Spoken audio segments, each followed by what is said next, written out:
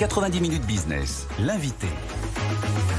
Avec nous ce midi, Bruno Neil, directeur général du groupe d'enseignement supérieur Excelia. Merci beaucoup d'être euh, en direct, Bruno Neil. Le groupe Excelia a créé en 88 quatre campus, La Rochelle, Tours, Orléans, Paris. Présentez-nous euh, rapidement ce groupe. Oui, bonjour, merci pour votre invitation. Euh, Excelia est un, établissement d'enseignement supérieur créé par la Chambre de commerce de La Rochelle en 1988. Avec trois belles écoles, une école de management qui accréditée, très bien classée dans les 50e grande école euh, au, monde, au dernier classement du Financial Times, mais dans 10e, 11e du classement général en, France. Une école de tourisme ancrée euh, sur ces territoires, à, Tours comme à, La Rochelle, et mhm. une école de communication digitale pour former des étudiants à tous ces métiers en tension que sont euh, l'IA ou le digital. C'est 6000 étudiants avec des implantations à La Rochelle, Tours, Orléans et, et Paris, et un établissement associatif euh, euh, contractualisé avec euh, l'État qui développe à la fois la formation initiale comme l'apprentissage et le tout dans une orientation stratégique qui est très tournée vers tout ce qui est transition écologique, RSE et nouvelles, nouvelles technologies. C'est toujours, et ça a toujours été l'ADN de notre école dès, euh, dès sa création. Bah, ce qui est intéressant, parce qu'on va revenir à comment vous adaptez au changement de l'entreprise. Avant cela, je voulais qu'on revienne sur cette question. On est dans le post-bac, là, principalement, enseignement qui a de plus en plus la cote auprès des étudiants, hein, euh, qui désertent ces dernières années les prépas au profit de ces écoles euh, qui arrivent juste derrière le lycée. À quoi vous attribuez ce succès? Alors, plusieurs, plusieurs raisons. Vous avez, vous avez, raison, il y a une désaffection des, des, prépas euh, tendanciels depuis quelques années, euh, ce qui est navrant, parce que ce sont quand même des, très belles formations, mm.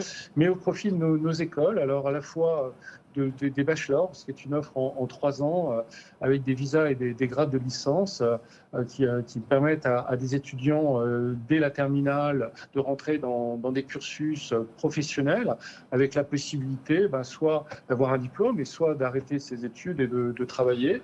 Euh, ou alors de pouvoir euh, continuer euh, vers un master. C'est un véritable tremplin à la fois pour l'emploi ou pour continuer les études supérieures. Donc c'est très ouvert. Vous avez la possibilité d'expatriation internationale, de découvrir des, métiers, de vous former. contrairement au prépa, pendant deux ans, vous connaissez le système, vous devez travailler pour essayer d'avoir une école.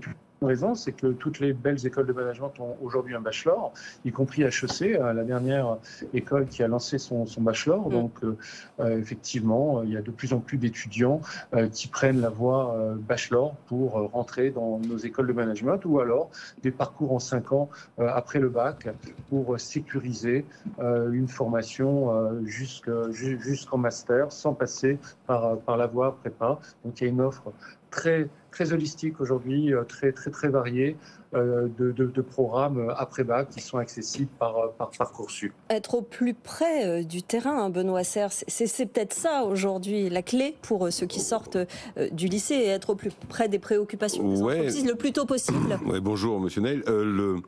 Non, non, je pense que c'est le rôle des écoles de commerce ou des voies d'accès aux écoles de commerce, il est très important, surtout dans la phase démographique dans laquelle nous sommes.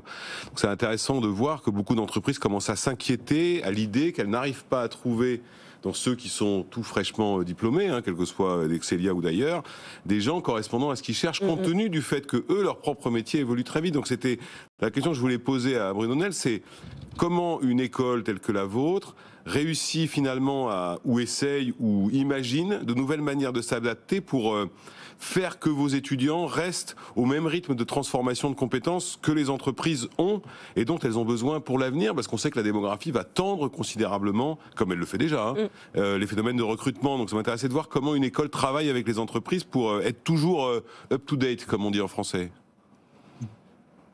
Oui, oui, bah, c'est la question centrale de, de, nos formations, c'est-à-dire qu'on fait face à la fois à une pénurie euh, de, compétences et on doit fournir à des entreprises de plus en plus de compétences et, sont, et on a beaucoup, beaucoup aujourd'hui de métiers en tension.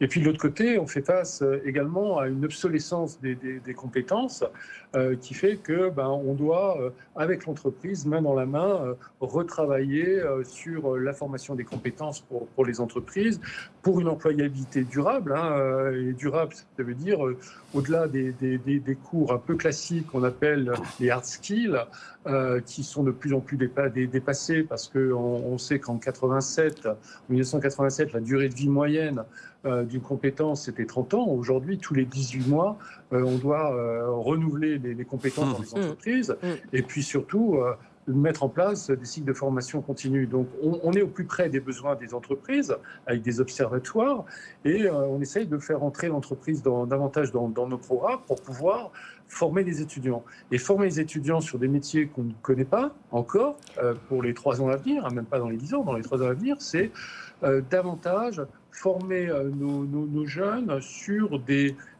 compétences comportementales, parce que le savoir-être est aussi important que le savoir-faire, c'est-à-dire leur donner des capacités à communiquer euh, en présentiel comme en distanciel. Hein. Vous savez que cette génération Z, qui est une génération nomade, il faut aussi pouvoir la, former pour euh, l'adapter dans, dans, les entreprises, euh, des capacités à innover, à créer, à s'adapter, à, entreprendre. Et c'est tout le, challenge à la fois de nos écoles, d'Excelia en particulier, pour être en relation avec, les entreprises et former les étudiants en fait qui seront un peu des, des chevaux de Troie, c'est-à-dire qu'ils vont commencer à accompagner à l'intérieur les entreprises également dans leur transformation. C'est-à-dire qu'on écoute les besoins des entreprises, mais pas que. Mm. Parce que euh, il faut aussi anticiper les métiers de demain qu'on ne connaît pas. Donc, c'est former des, des, des, étudiants un peu responsables qui vont de l'intérieur transformer les, transformer les entreprises. voilà un peu la mission et les challenges de, d'Excelia. très très vite, il nous reste une minute, Benoît Serre. Très, non, la question que je me posais, c'était compte tenu des, annonces de Gabriel Attal qui veut rentrer plus l'entreprise dans l'école avant, euh, donc avant vous en fait, est-ce que vous pensez que ça va être euh, d'abord pertinent pour les écoles de commerce, et surtout changer la nature des étudiants qui auront eu un contact entreprise plus tôt qu'ils ne l'ont aujourd'hui? Très vite.